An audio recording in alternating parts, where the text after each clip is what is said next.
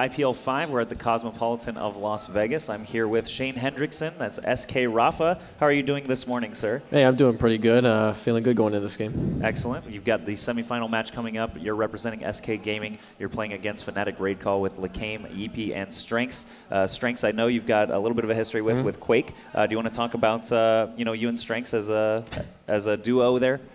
Um, we've faced each other in Quake many times. Um, only once in a team play atmosphere, uh, but most of it just spent in the duel.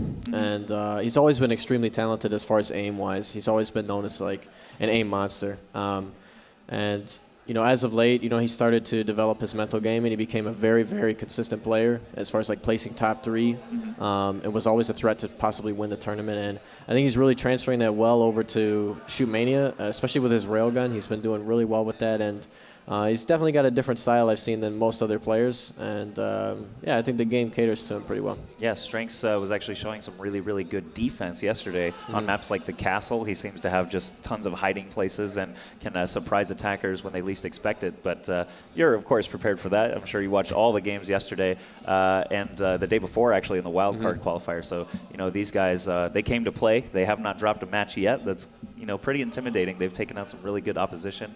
Uh, you guys, of course, have been practicing a lot for this event. You were the invited team, and there was, you know, some controversy, you know, like why are you inviting a team at all? You know, uh, maybe you should have invited Fnatic. Why'd you invite SK? Uh, what do you think about, uh, you know, the invitation sort of uh, aspect of this? Well, I mean, I understood why you guys, you know, wanted to invite me and like get exposure to the game and stuff. And I knew, you know, once once I got that opportunity, I wasn't going to let it slip by. I was going to take it yeah. extremely serious, you know. So I I wasn't worried about what other people said.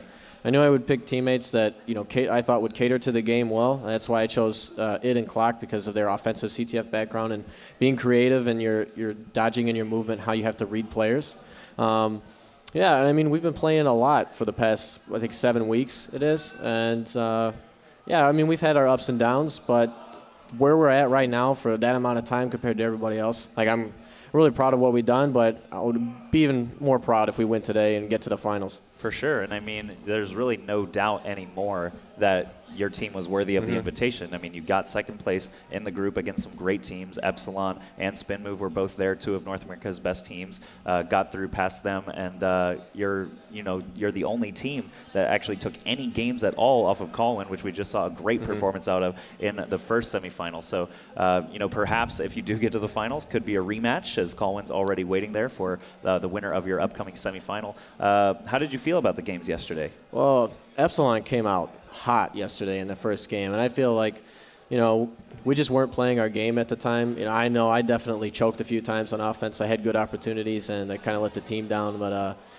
you know, we just looked at it afterwards. We're like, all right, well, we're still not out of the tournament. We just need to take it one game at a time, focus on trying to beat spin move. You know, like look at you know the weaknesses we've seen and try to exploit them, and just make sure that we're we're changing our game to the point where we're all effectively like either pushing all at once or playing collectively back and always working together, like not making sure that nobody's left out to dry. And um, as you can see, like each map, we started to get better and better and got stronger and stronger. And, um, and I think the fact that you know we've seen Colwyn and we've been able to see games of them and they haven't seen us play. Right. I think that kind of threw them off yesterday, like with what we were going to do, and they didn't expect us to play the way that we did. And um, yeah, I, I thought we played really, really well, and I just hope that we could play that well together again today instead of just having one person being hot, you know, and the other two cold. We need to all be clicking on all cylinders. Yeah, really great answers. Thank you very much for this short interview. I'm not going to ask you, you know, any strats or anything No, about no, this. Uh, I, I don't expect you to. yeah, and uh, but I mean, I do wish you the best of luck. It's a best of five. It's a little bit longer format than we Mm-hmm. had yesterday, so